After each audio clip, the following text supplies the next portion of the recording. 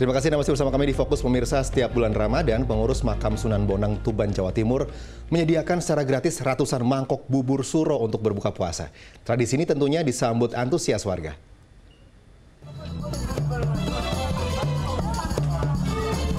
Menjadi favorit para warga Tuban, bubur suro memang selalu dinanti peminatnya. Mengantre hingga berdesakan dilakukan demi dapatkan bubur dengan cita rasa yang khas penuh rempah ini. Ya, bubur yang sudah turun-temurun ini dibuat oleh para pengurus makam Sunan Bonang, Tuban, Jawa Timur saat bulan Ramadan dan dibagikan secara gratis. Kalau mulainya itu tahun 1937. hingga saat ini ya Pak. Dengan bahan utama beras, daging dan tulang sapi, santan kelapa dan bumbu gulai. Bubur dimasak menggunakan wajan besar, diaduk selama dua jam. Hmm, tak heran ya, rasanya yang gurih membuat warga ketagihan.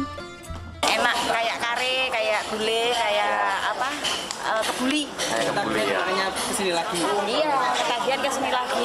Alhamdulillah. Bubur suro juga dibagikan kepada para musafir dan peziarah makam Sunan Bonang yang singgah. Sapari Ranuwijaya melaporkan dari Tuban, Jawa Timur.